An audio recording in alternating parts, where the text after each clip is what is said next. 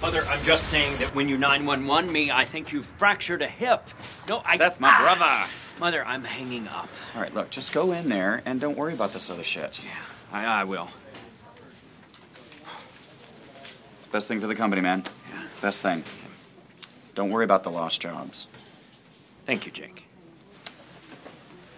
You don't even know what you're talking about, you whore! but nothing this brutal.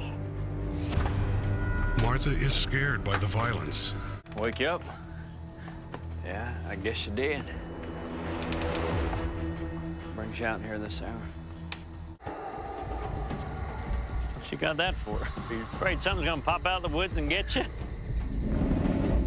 Hey man, what are you doing?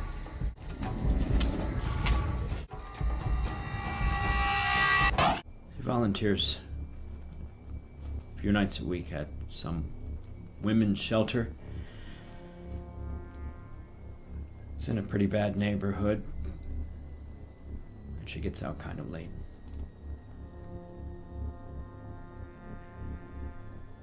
I'm sure this type of thing happens there all the time.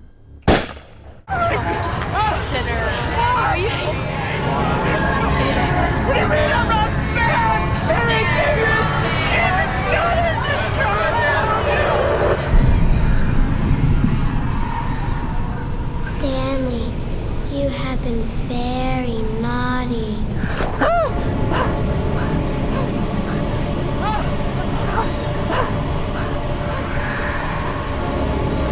Jesus, it wasn't about you!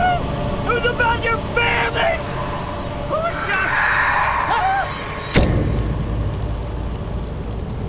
To have a baby? Yeah, why is it that we want to have a baby?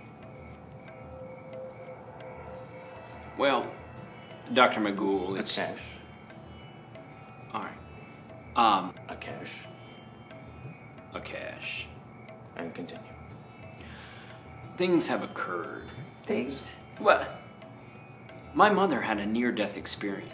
Your death? Yeah, she had a mole removed. It could have been cancer. Cancer. Yeah. It was unsightly, but it was hardly cancer. She just needed an excuse to get some work done. You know, now that's just. Well, actually, that could be true.